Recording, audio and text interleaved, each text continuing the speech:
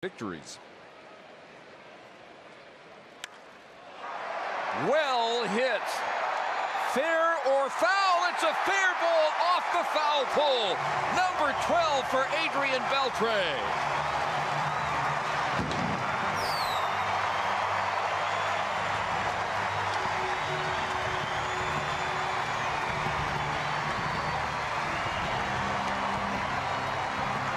Beltre starting to get a little bit of a break.